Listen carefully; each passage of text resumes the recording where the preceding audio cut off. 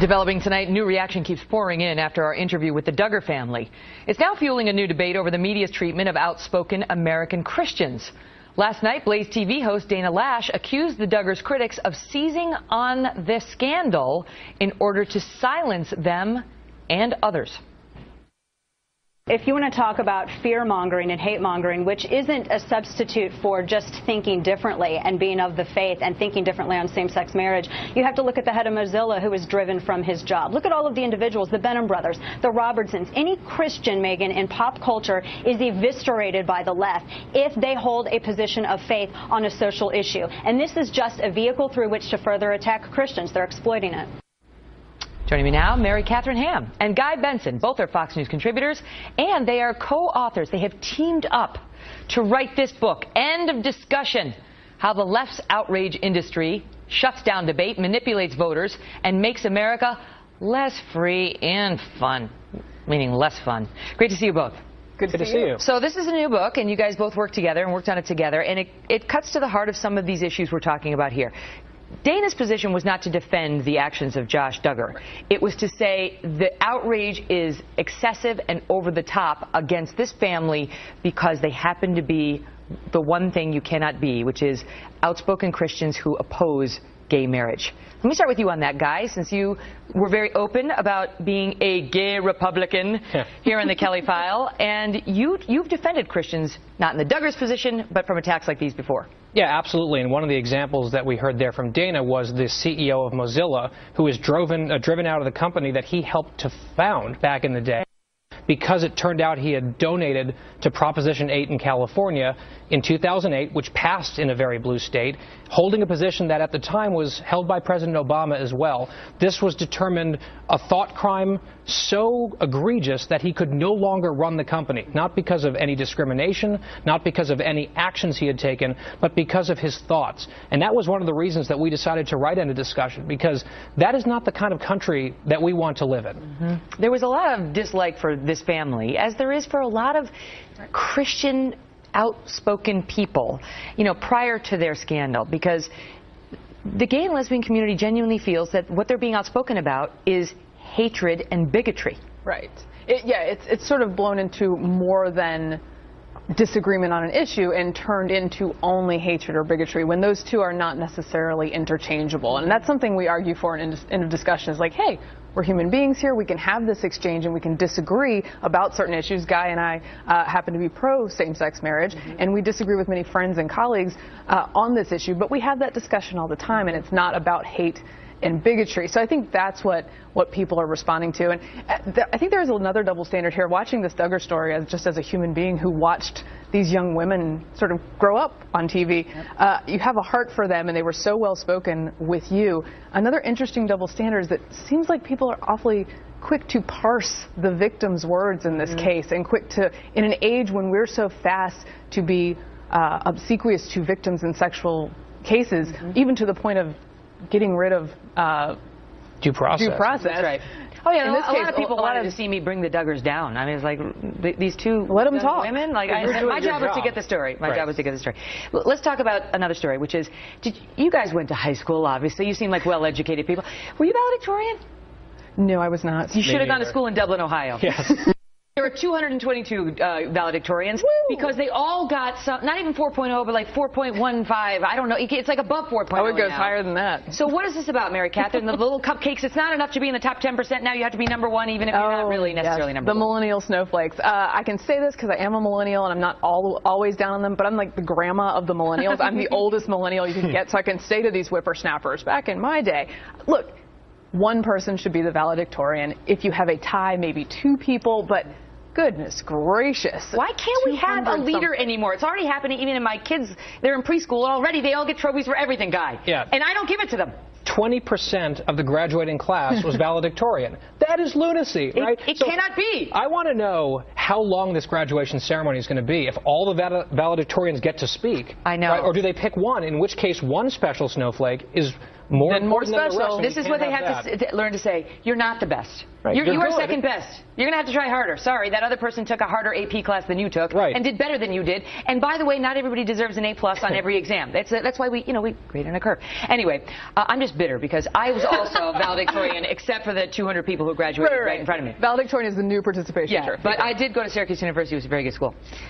Except for the fact I didn't get into the Newhouse Communications School. But now they claim I went there, but Wow. I didn't. What? Not bitter? No, That's a- I'm not. that's a fact check right That is there. not the end of discussion. One more thing I want to talk to you about. Jerry Seinfeld sees the wor- world as you do. And like you guys in the book, is sick of the PC nonsense. Listen here. I don't play colleges, but I hear a, a lot of people tell me don't go near colleges. They're so PC. They just want to use these words. That's racist. That's sexist. That's prejudice. They don't even talking about.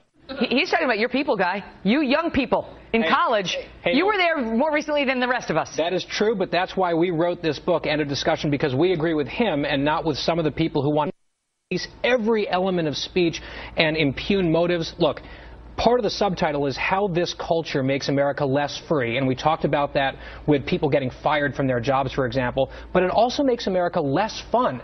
What college student does not want Jerry Seinfeld to show up and play or at their Chris? Rock, who has said the same thing. George Carlin said the same thing about colleges before he died. It's like you can't say anything, otherwise the PC police will come and say, Mary Katharine, I'll let you say it. It is the End of discussion. That's what we say. It's birthed on college campuses. It is weaponized in D.C. and then it goes all over the country and gets to police every little thing you're doing. Mm-hmm. Not healthy. Uh, that is the end of discussion for now, and it's a pleasure to see you both. Good luck with the book. Thank, Thank you so much. All right. You are listening to American Conservative University podcast number 1310, Coming Up Joe, and Mika, of the Morning Joe Show on MSNBC interview the authors of the book, End of Discussion. Talking about how America's culture has come to PC with us now to talk about that, Mary Katharine Ham and Guy Benson. They're the co-authors of the new book, End of Discussion. how the left's outrage industry shuts down debate, manipulates voters, and makes America less free and fun. We all we see this all the time. Hey, hey, Barnicle. Heilemann. Heilemann. We're doing a show over here, okay? Good lord. Jerry and Elaine, keep it down. Barnicle. Shutting down speech, right? As Exactly. So, but I mean, we we three see this all the time, you know, and there are certain things that you have to be very careful about talking about. And and I, uh, my pet peeve is this: people want. Let's have a true discussion on race. What I have found, and what Mika found in a very stinging way several months ago, is people don't want a real discussion on race. They want to find the 15 seconds where your mind wandered and you said something stupid, and then for the next five days, you and your children see you being called a racist. And it shuts it down completely. Right. Often the first person to say they want a national conversation is the last person to actually want to engage in a conversation. We would like that to be different, which is why we wrote End of Discussion. We noticed as people who are coming up in political commentary especially, that more and more subjects were off limits and scary. And it's not just for public figures, which is what bothered us and made us write the book. Even private citizens these days, they're sort of plausibly public if they put something on Facebook, and they can become a national news story. And they should not have to live by the same rules that we do. Yeah, but you know, there, there, guy, there was a book called The Closing of the American Mind. Yes. Uh, God, Allan Bloom, 20, 25 years ago. And it was, I mean, for me, it was a very important book, sort of, in my development. But he was warning about the PC police back then. I thought we'd gotten past it, but it's just gotten worse Yes. in many respects. Political correctness has been with us, unfortunately, for many decades. But I think what we're seeing now, especially in an age of social media, is that a lot of this craziness is being born on campus, but then it's being weaponized in the media, weaponized in Washington, D.C., and it's proliferating across the country, and it's sort of seeping into all elements of American life. Give us a specific example. Well, I think an example that just in the news this week, beyond the Jerry Seinfeld stuff, which is more on the fun side of our book about Right. how they're sort of robbing us of laughter as well, uh, there are these gay hotel owners in New York City who had dinner with Ted Cruz. One of them gasped, donated to Ted Cruz. Right. There have been boycotts and all these people very angry at them. One of those gentlemen was on Fire uh, Island on vacation over the weekend, and a patron confronted him for having dinner with Ted Cruz. Dinner. Right. Breaking and, bread. And they were there were shouting, and the whole restaurant started shouting, and he was escorted out of this bar on vacation being jeered at and yelled at. I mean, that is the literal ending of discussion. That is not good.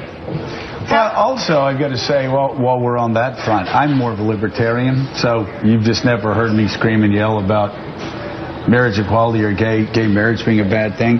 But what bothers me is the discussion is over. And if you side with, let's say, people who have a view of marriage that it should be between a man and a woman, a 4,000 year uh, institution, Mainstream position. mainstream position, the the predominant position in 2004, 2005, 2006. But if you even have a discussion, say, you know, I, I kind of think it, it should be between a man and a woman, then you're a bigot. Right. I mean, it is that is another discussion that has been shut down. And again, I'm more libertarian on this. So stuff, are we. Yeah. Right? But still, it disturbs me. And we had this talk a couple weeks ago, right, Willie, about this religious freedom law, where these people were immediately bigots because they they found it morally wrong. And sort of the reason that we took up writing End of Discussion was the Brendan Eich incident at Mozilla when the guy who founded this tech company was ousted because he had given to Proposition 8, which won in True Blue, California, by the way. It was a traditional marriage Yeah. proposition. At the time, Barack Obama was not pro-sex marriage. Um, so it was definitely a mainstream position. And it wasn't his conduct or the way he treated his employees. Uh, it was the That he- political thought he crime. just contributed to a campaign that the majority of Californians, the same year Barack Obama got elected, uh, agreed with. Guy, I want to ask you because you mentioned college campuses, and I do think the climate there is a lot different today Yeah. than it was even 10 years ago or 20 years ago when I was in college. And I've noticed, not as a political analysis, but just as something that strikes me as odd, is that there's a lot of canceling of graduation speakers because Mm-hmm. they don't hold the right points of view. Or if they do allow conservative to speak on a campus, they have to provide safe spaces for students to go because they might hear something that Right. contradicts their beliefs. Microaggressions. Where and did trigger warnings. When did this start? Where did it come from? Well, it is an accelerating trend, which is one of the details that we have in end of discussion, saying it, this is not, it doesn't just feel worse, it actually is worse. Condoleezza Rice, two years ago That at was, Rutgers. that, that was stunning. We, The we- first- we're absolutely blown away. Yeah. Christine Lagarde. Yeah, Christine Lagarde at an all-women's school, disinvited.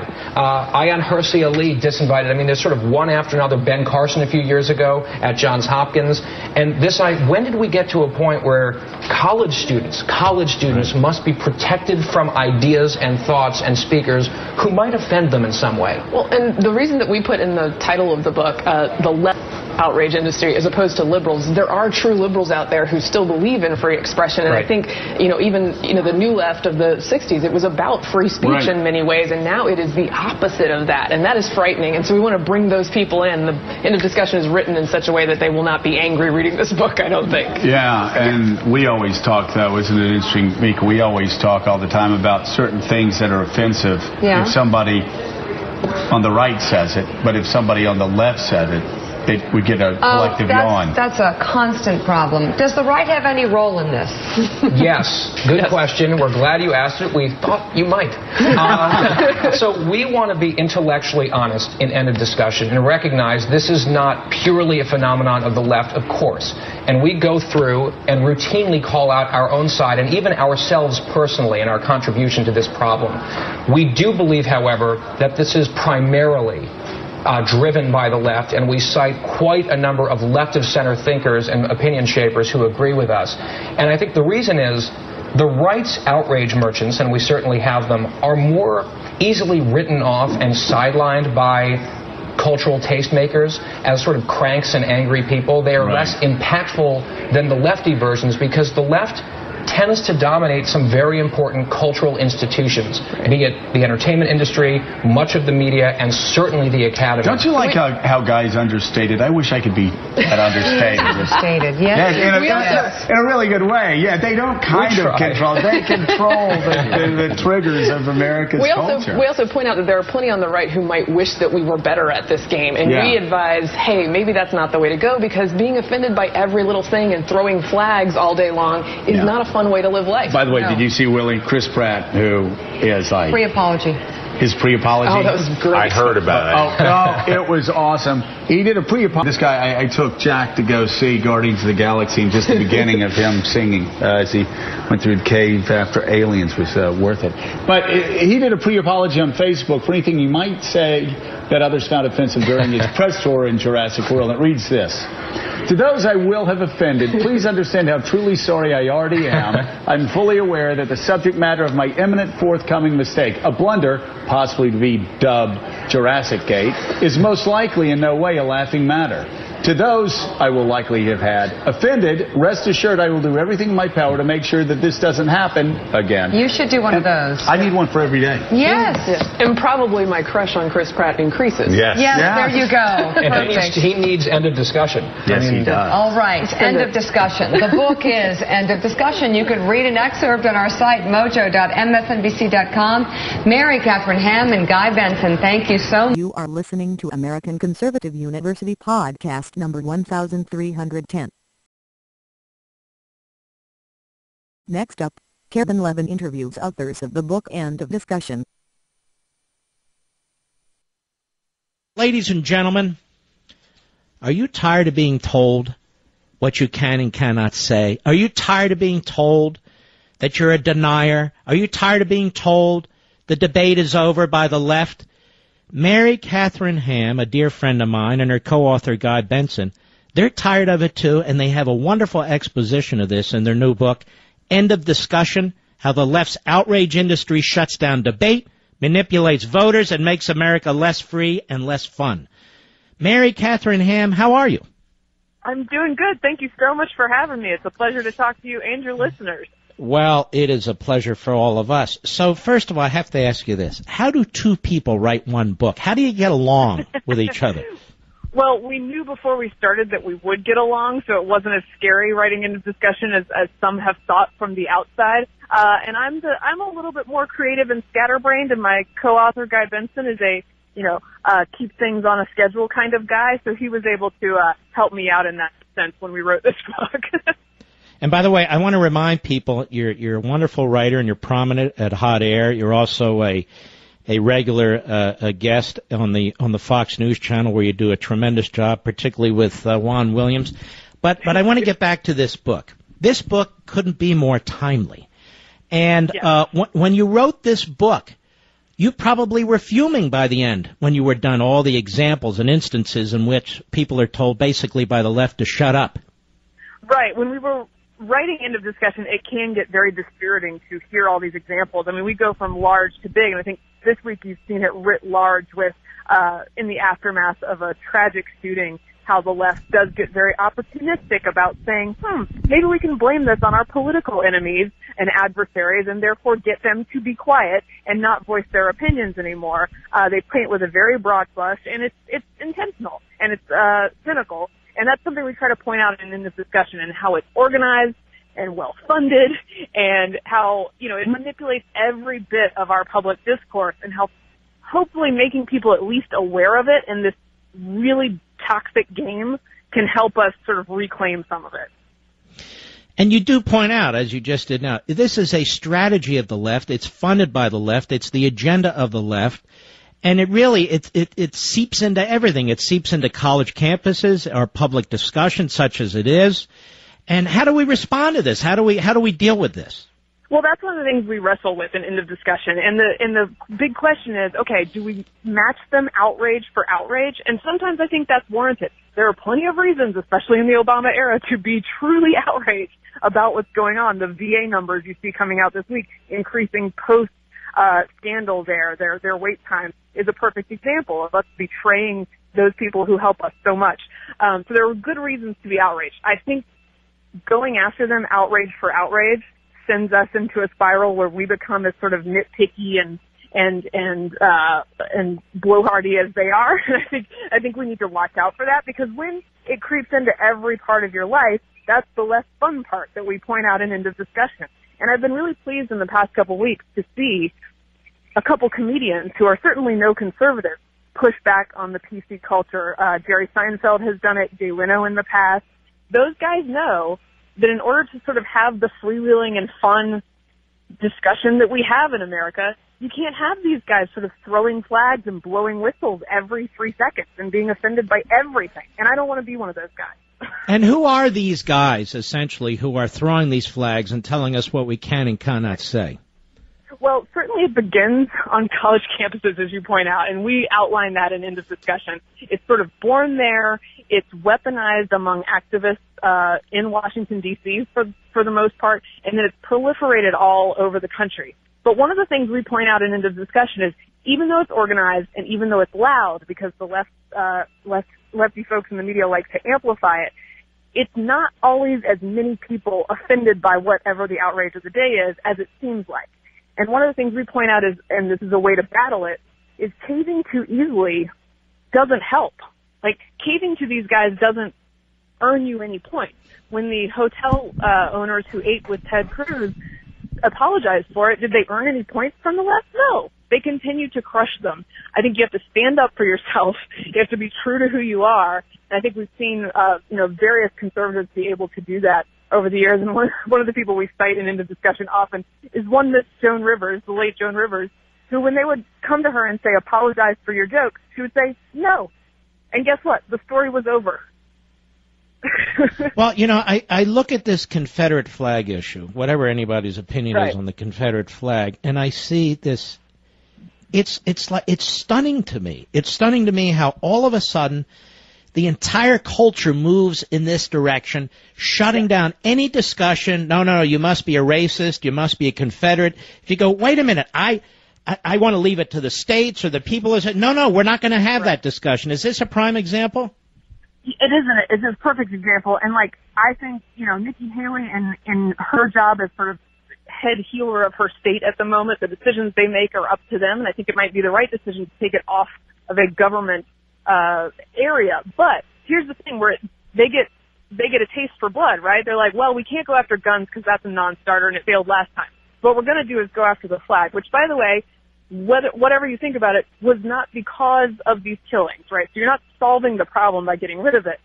They go after the corporations. They go after the Walmarts and they say, you got to remove all this stuff. And I just think whatever you think of the flag, it doesn't need to be banned from every retail outlet. I mean, that's just silliness. You've got people on eBay who sell Civil War relics back and forth, and now that's not allowed in our culture at all. I just, it's such an overreach and it's a perfect example of how these activists instantly turn our national conversation into, no, you will not show this symbol, no, you will not have this discussion, uh, no matter what it is. Well, it also reminds me of the uh, gay marriage issue where, um, okay, fine, people have an agenda, they have a point of view. Now, if you don't accept it, if you don't actually serve that wedding, even though right. you may say it violates your, your religious or your moral beliefs, you have to be beaten into complicity too. Right, I, and that's that's been very disturbing. Is watching and got my co-author and I, Guy Benson, are actually pro same-sex marriage, and we disagree with many of our, of our colleagues in a kind and loving way, and we have the discussion all the time. Why? Because we don't automatically assume that you're a bad person because you disagree with us on that issue. And we write about religious liberty in, in the discussion and about how, look, they're saying unless you literally celebrate this marriage, despite your religious beliefs, that you must be pounded into dust, that your small business must be taken away from you. And that's, that's, we've had PC culture for a long time, but that's weaponized. That's people coming after you in an economic way and hurting your family. And the, the thing is, it used to be all like live and let live, gay marriage, every, you know, I don't affect your life. Well, now they want to affect your life. That's, that's literally the pitch. And it's scary. I'm, speaking to Mary Katharine Ham, co-author of End of Discussion, which is an outstanding book. The timing is perfect. How the left's outrage industry shuts down debate, manipulates voters, and makes America less free and fun. Where are the civil libertarians of old? You know, they who used to who used to demand that we we adhere to the First Amendment, whether it's Skokie, Illinois, whether it's American flag, burning the American flag, and so forth. I, I don't hear them anymore. No, I don't hear them either, and I think that's uh, that's a little bit of the the old the old left, which I guess called themselves the new left at the time, was very pro free speech. They were um, a community that was interested in pushing boundaries, but now the left is very interested in setting up in new boundaries for your speech. Uh, a new thing is offensive every day. If you don't keep up with the rules and you say the wrong thing, you'll be taken down. If there's something in, offense, newly offensive on your Twitter account, um, you'll be punished for it. And so I think people have trouble keeping up, and that's the point. That's that's how they manipulate you and get you to keep your mouth shut. And the thing that really bothered me before we wrote End of Discussion, and that really spurred me to do this, was when I saw it trickling down from public commentators to private citizens. Because to some extent, when I go on a show or a radio show or a TV show, I take on a little bit of that language policing and I'm careful with what I'm saying um, as a consequence of what I do for a living. I know people are looking for me to mess up. On the for private citizens, if you're just posting something on your private Facebook page, you should be able to have some leeway for goodness sake. And these days, people are feeling like they don't. And that's what we wanted to explore in the discussion. Isn't this in the end a totalitarian mindset, though? This this effort to shut everybody up, and you have to agree with me. Yes, and it's really creepy because you get to the point, and and it's certainly not only of center folks who feel this. I think many of the comedians and entertainers um, who feel like they're limited by this feel like they have little, uh, you know, watchers with their camera phones ready at all times, ready to be offended at the drop of a hat and report them uh, to the national media for stepping over a line. And it's really like having your fellow citizens report on you, just like in a totalitarian state. I mean, it, it gets really creepy.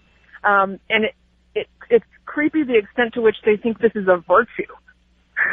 that this is, oh, well, we're just ridding our society of the right, of the wrong beliefs. Um, they just happen to be all right of center for the most part. And it's, it's really, it's not a good impulse. And that's what we wanted to talk about in the book. Well, I want you to know you you are a, a terrific writer. Uh, you're a fresh personality. I feel the same way about Guy Benson. Everybody doesn't have to agree on everything, right, but you're out there and you're trying to make a difference and influence people. It's a tremendous book, and we're going to put it on our social sites, ladies and gentlemen. You really ought to get a copy of it. It's it the, the timing couldn't be better. I'm talking to Mary Katharine Ham. She's the co-author with Guy Benson. Here's the book. End of discussion. How the left's outrage industry shuts down debate, manipulates voters, and makes America less free and fun. I think you're really going to want to read this book, and I want to thank you for coming on the program. Well, thank you so much, Mark. And between you and me and all your listeners, we're not going to let them shut us up. No, great. Keep kicking butt. All right, God bless. You take care. And you can get it at Amazon.com and Barnes and Noble and Books a Million. You can get it at any reputable bookstore or book outlet. Uh, but I would encourage you to get it. Mary Katharine Ham, Guy Benson. These are great, young, new conservative voices. You don't have to agree with everything they say, and that's the point. The left shuts everybody down. The book, End of Discussion, How the Left's Outrage Industry Shuts Down Debate, Manipulates Voters, and Makes America Less Free and Fun. I'll be right back. You are listening to American Conservative University podcast number 1310. Next, the ladies of the Out of Overtime show interview the author of the book, End of Discussion. Outnumbered overtime. Oh, chief, baby. So the last uh, segment on the TV version of us, um, Emily Treck says, I'm having a laugh at the word rotating. Uh, she's seeing something different in her head. Uh, we were talking about the fact that one of the presidential oh, but like a, a first lady on a rotisserie. yeah, probably. Uh, Lindsey Graham, Exhausting. Senator Lindsey Graham, uh, when asked the question, you know, you're not married, what's your plan for First Lady? And he said, I do have a sister. Uh, and so apparently the family has talked about that So somewhat from that's reports how it that is I've in read. South Carolina. And then he said that it would be kind of a rotation situation. Oh, that's good. Yeah. I just got that. Uh, Scribble six four six says Lindsey Graham on the prowl. Uh, and then let's change the subject. Okay. Uh, Tori and James says Guy is cool. Guy is so cool. And Guy, I, I love how you are defending liberty, how you are defending free speech. You and Mary Katharine Ham. Uh, I think this book is fantastic and so necessary. you had this idea a long, long time ago, Yes. way, way long time ago, before anybody, and I'm just so excited to read this because I just got my copy now. But I'm a huge, obviously, fan of yours because you're one of our great one lucky guys. But I just love M.K. Hammer so much that my heart feels like it's going to explode sometimes when I Yes. see her on the O'Reilly Factor. Yes, my uh, my co-author Mary Katharine Hammond. The book is called End of Discussion. It came out yesterday. It's available at endofdiscussion.com. All of the ladies on the couch have their copies. You're so sweet. It's wonderful. Uh, I love the picture of the two of for- you Yeah, hold it up for the. the back. It's actually a wonderful marketing. I'll hold up the. These back and you beautiful hold up the front. And Yeah, and if you see the back, you can see there are two pictures on it. Anyway, um, you know what? We had a guest on this week, and you'll have to remind me which one lucky guy it was who said, I think it was Andy Levy, actually, Red Eyes Andy Levy, who said, you know, we've become so politically correct in this country that there are certain buzzwords that just end the discussion. Like, oh, I'm offended. Right. You It's know, a anything with an ist on it's the end. racist, It's, right. it's sexist. It's Right. homophobic. And what we argue in end of discussion is that the left, in not mostly the left, not exclusively, but mostly the left, is increasingly seeking to win political and cultural debates by preventing the debate from even happening. They don't have the confidence in their own ideas to take on opposing viewpoints on the merits and defeat those ideas on an equal playing field. They want to delegitimize, demonize, disqualify through bullying and silencing. And that's what we noticed really last year is getting really bad and we decided we need to write a book and this is the final product. End of discussion. You know, it's a it's the perfect time for you to launch this book because of what you were discussing last night with Megyn Kelly, Mm-hmm. and that is Jerry Seinfeld, not a known Somebody just put that on the live chat. coming out saying last night, um, you know, to, again about this PC culture, where he says you can't make jokes anymore because you will hear it from everybody. And I, ju- I thought his point was so good about people feeling just so personally offended. I mean, everyone thinks they have a voice that they can shout down someone like Jerry Seinfeld when he's just simply making a joke. Right, and, but isn't that, isn't that the role of comedy? Isn't that what comedy is supposed to do? Isn't, isn't that what we ask of it? And he's saying that, you know, especially college campuses are so PC. They're just comedy killers. And he and a lot of other high profile comics will not perform at college campuses anymore. So we have a whole chapter and end of discussion on academia and the madness there. It's called Speech Police Academy.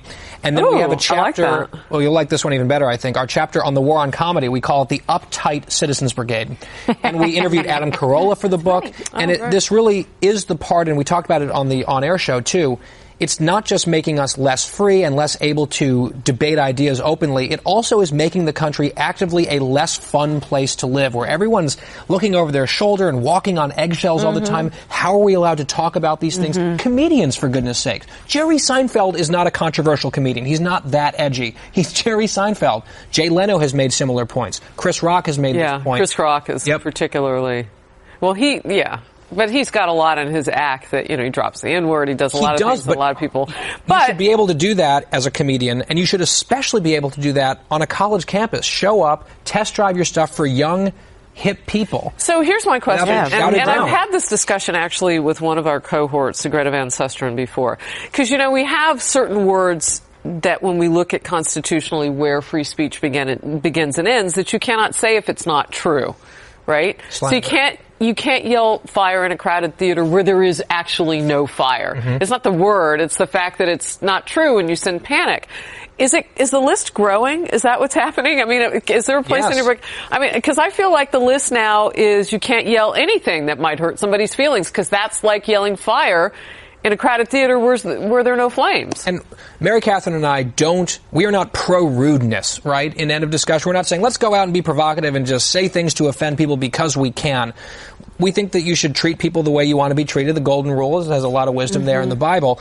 But the problem is what we're seeing from the outrage industry, from the perpetually outraged grievance mongers, is that they are abusing Americans' sense of fairness and politeness in the golden rule and trying to ever uh, ongoingly that's not a word expand the lexicon and vocabulary of banished phrases terms and even thoughts where people Yeah. are reticent to even maybe wade into debates for fear of crossing these people and being in some cases lose their jobs lose friends I mean, look at look at climate change. You can't have a discussion without politicizing anyone's response to it, and You're a and that denier. is that is so anti-science. If you can't question someone's premise, you're not doing. You actually are not engaged in the scientific method, Mm-hmm. Mhm. and you know it, it's a different way of ending that discussion. You want to end the discussion of someone that you disagree with, and uh, it's very very dangerous. It's anti-American. All right, from the live chat. Uh, Kraft Cop says, I agree. Everybody needs to grow a thicker skin so we can continue to progress. Can you imagine the Continental Convention if everybody there avoided the issues that were not PC? Uh, Larry Jobber says, I hope that outnumbered never gets too PC. Yeah. I can guarantee that. not not with this cast. There is no way. Part of the problem is it's not, it's politicizing uh, an argument, but also personalizing an Yes. argument. Yeah. It's just, Yes. It just kills me if you're in a debate with somebody and it becomes personal. It just ruins it. It's no longer it's no longer a even fair debate. That being said, I probably made one of the most awkward transitions from from I, I, grew up trade I I grew up on a trading floor in Chicago. Literally, as like 16 years old, my dad had me in sneakers down on the trading floor, and it was like all men and these like big burly like kind of size mattered in the trading pits for a long time. No longer is the case, obviously, but. Anything went in those trading pits. You could say anything, do anything. I mean, there was like gross hot dog eating of, and at that time there was like brilliant people down on the trading floors. I Sounds you really, amazing. it really was. I mean, it was an amazing still environment. like to be- that? no, no, it's gone. Um, it, I mean, in fact, the, the actual physical trading floors are closed. But I mean, that attitude of openness? No, no, it's just Oh, I was people down there more are the like hot dog eating contest and the big men. Continue, yeah, Sam. but anyway, I made this awkward transition from like that sort of. I was at the tail end of like seeing sort of the heyday of the trading floor, and then like going back to school because I was there in the summers, and then I actually went there out of college and everything, and then I had to go into a corporate environment. I'm like, oh my gosh, it was just so How stifling. PC. Yeah. yeah, and and it was actually amazing to see in the trading pits how like, people just said whatever they wanted, and yeah, you probably took it. You were kind of like, wow, am I like, am I fat? Like, you know, like guys were constantly like saying things to each other, and I'm sure they kind of asked themselves, but they got it out there, and there was never any. I don't know. It was just it was fascinating frat, to frat see house it. mentality. But look, I think bit. the point you made about the personalization of it is Brutal. such a crucial Brutal. one. Yeah. Because, for example, we can have a disagreement on, let's say, gay marriage. I'm for it. People that I know and love very much are against it.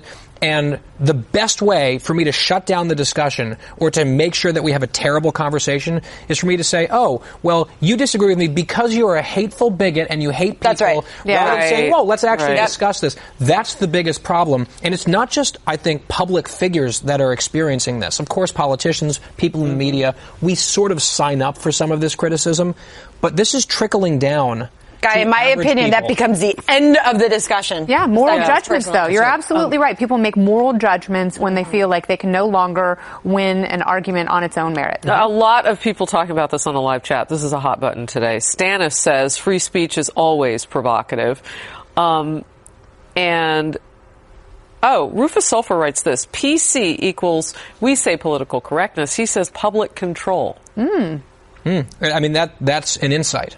That's definitely an How, and and the internet gives people the power, so they're already feeling To do it, entitled. yes. anonymously, I guess- right? And that's what Seinfeld hit hit on. You know, why do people feel that they have the right? To be able to shut someone else down. I mean, to me, that's just crazy. Like, for me to silence you, Guy Benson, like, why, Andrea Tantaros, do I have the right to silence you from saying what you want to say, and to your point, in the meanest of ways. But I guess if I'm just hiding behind my little Twitter handle, I have all And the your courage fake in the avatar, world. right? Yeah, and I find that people, when you call them out on Twitter, which we're not really supposed to do, but sometimes when you do it, they they cower. And I mean, if you see it too, because you know my tw- Twitter followers in past have started to pay attention to things when I will retweet a nasty thing someone says. Mm-hmm. Well, they don't like it then when you call them out. It's like they have all the courage in the world to their 12 followers. Yeah. But when I say, hey, why don't I open up your free speech to, I don't know, almost my 400,000 followers, oh, they don't like it. Then, then, no, no, no, no, no, no, Right. no, no, no. They don't want to hear from my, you know, friends on Twitter what they think. I think uh, it's such an important point about the internet. I'm a huge fan of the internet overall, plus minus. It's it's a great positive for society, but it does, especially social media, does allow a new platform for these outrage mobs to gather and Yeah. form and have these tornadoes of fury around people, even average people who just mm-hmm. might have said something on Facebook or Twitter that they didn't totally think through. And, and I think that the best thing to keep in mind for people who find themselves under fire is that it's often this tiny minority of loud people yelling at them Oh, yeah. when most people don't care or might even agree with them. All right, uh, one last one. Good point, guy from Handcuffed, spelled C-U-F-T. Attack the messenger when you cannot argue the message. That's exactly Um, right. All right, let's end this discussion with End of discussion. hold your books up and the discussion. Um, you want to hold mine up? Please Since- do. Yeah, is- you seem like you need a book. There we go. I don't know which camera I'm on, but end Uh, of discussion, end of discussion.com. All right, Very sounds good. good. And Thank say you, hello ladies. to You're Mary welcome. Katharine Thank you. Ham for us. We love her. I will. We we love her too. And I'll see you tonight on Kennedy On on, Fox Kennedy. News. Go, 8 8 p.m. Eastern. New Any- time. Anybody else want to plug anything? New time, new time. Uh, me, 5 a.m. Fox Business Network tomorrow. Amen. FBM, FBN Picture AM. in picture with Kennedy tonight when I'm on on the O'Reilly Factor. You can make me the small. you Jay's like, "I'm out of here." bob. I'm just going to the green room. Like I got nothing going on. Uh, tomorrow noon Eastern for Outnumbered TV version. Bye.